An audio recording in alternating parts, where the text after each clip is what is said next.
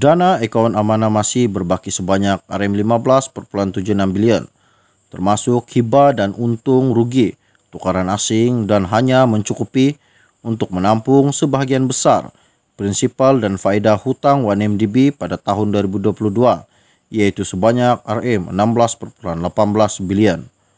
Menteri Keuangan Senator Tengku Datuk Sri Zafrul Aziz berkata, baki menampung kekurangan dana tersebut, kerajaan telah memperuntukkan sebanyak RM1.53 bilion untuk tujuan pelunasan faedah hutang 1MDB pada tahun 2022.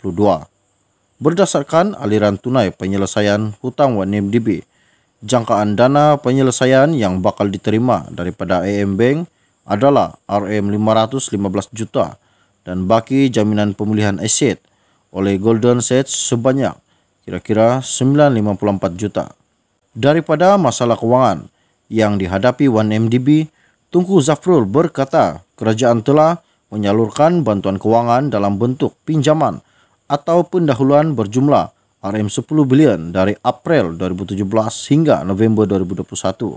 Dana itu disalurkan melalui Kementerian Kewangan dan syarikat Kementerian Kewangan diperbadankan bagi tujuan bayaran komitmen dan faedah hutang 1MDB. Setakat 28 Februari 2022, jumlah dana pemulihan aset 1MDB yang telah berjaya didapatkan kembali adalah sebanyak RM 19.14 bilion daripada beberapa mata wang asing termasuk dolar Amerika Syarikat, dolar Singapura dan dolar Australia. Menurutnya, dana berkenaan telah dan akan digunakan bagi tujuan pembayaran hutang 1MDB di mana setakat 28 Februari 2022 sebanyak RM3.31 bilion telah digunakan untuk tujuan penulasan faedah bon sukuk 1MDB.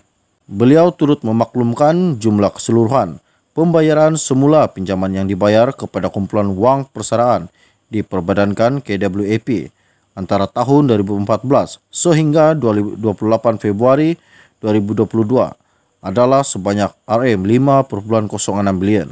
Katanya jumlah bayaran tersebut adalah terdiri daripada RM 314.72 juta yang dibayar oleh SRC International Sendirian Berhad. Manakala jumlah yang dibayar oleh kerajaan adalah sebanyak RM4.74 bilion. Tengku Zafrul berkata pembayaran terakhir bagi pembiayaan daripada KWAP tersebut telah dijadualkan pada 28 Mac 2022 yang berjumlah 610.22 juta dan kesemua pembayaran yang dilakukan oleh kerajaan adalah daripada sumber kewangan kerajaan.